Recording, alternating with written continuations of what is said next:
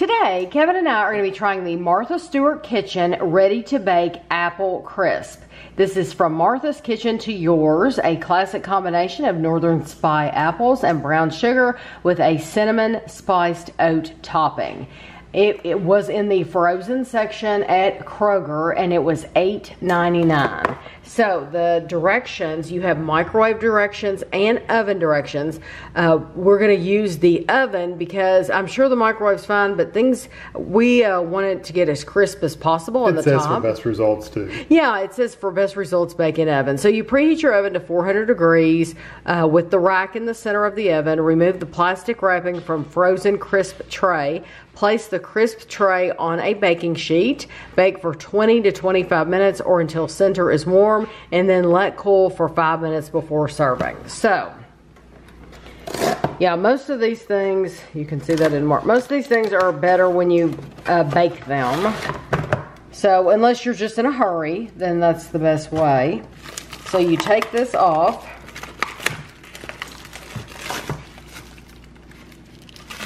And we will probably let it go. You know what? I'll probably let it go the whole 25 minutes.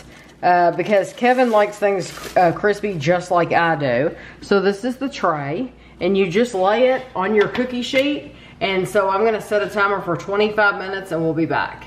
So here it is. I took it out two minutes early because I started to smell it. You know, you can start to smell things when they um, are getting too uh, done, too But hot. it's two minutes from the maximum time. You're right. So it was like 23 minutes total.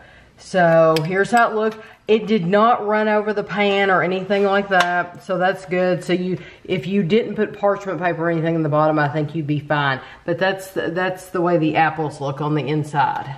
Okay, this says, a tip from Martha, serve with the best vanilla ice cream, a dollop of lightly sweetened whipped cream, or creme fraiche. Uh, five, Yeah, that would be good. yeah, it would be very good.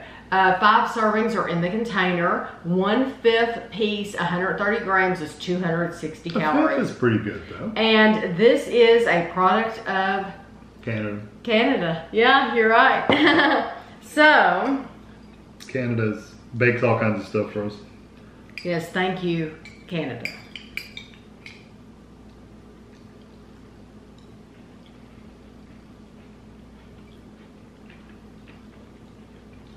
I like it that the apples are cooked really well. They're they're they're soft, but they're not mushy mushy. Mm-hmm.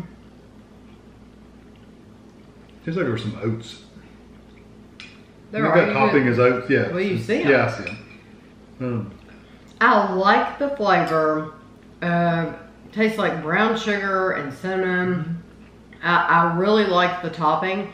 The only thing is it's a little um, soft. Oh, really? Yeah. See, I don't get that. Mine is, um, it's crisp enough for me.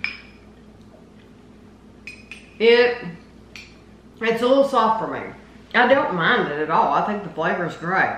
But you would think that baking it in the oven, you would have the maximum crispness. Yeah.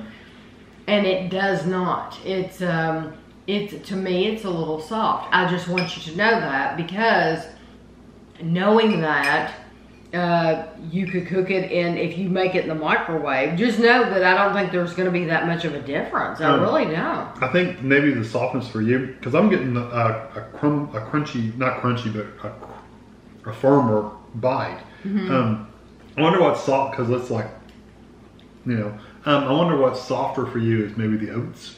Because the oats almost have a almost a chewy texture. Chew, yes, that's what I'm But they're getting. they're not crunchy. They're more chewy. But I Chewy, like, yeah. But here's a bite that's that's I can feel it. It's crunchy. The oats are chewy. Mm-hmm. I agree. The oats aren't crunchy at all. I love it though. It's very I good. think The it's flavor's delicious. wonderful.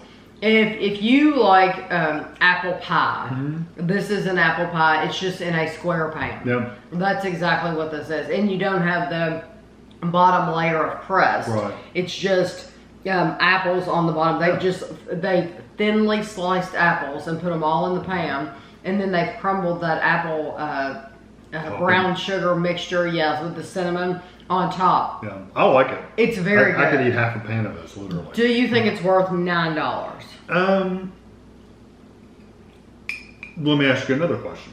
Okay. And I'll justify it. Okay. You know those big Dutch apple pies? Yes. The big, they're like this thick. Yes. How much are those usually? About six? I'm thinking those are about the same price. Because I would probably rather have one of those Yes. than this. Okay. Because the Dutch apple pies is an apple pie with a crumbly kind of cinnamon top to it. Right.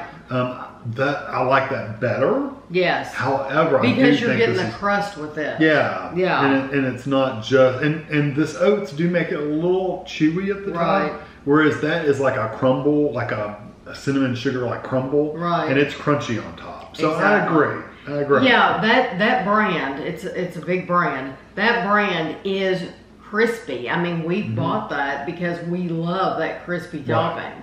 So Um, so I would prefer that over this. But if they were sold out of that, Yeah, this would be a good second yes, place. Yeah. absolutely. Yeah. And if those were like six dollars, there there wouldn't be any There's no competition. yeah, you just buy Yeah. one because that. Yeah, uh, but I do think this is. I think it's very very good. Yeah, Yeah. it's just it's a little high. You're right. So I hope you enjoyed the video. I'll have a picture for you at the end, and thanks for watching.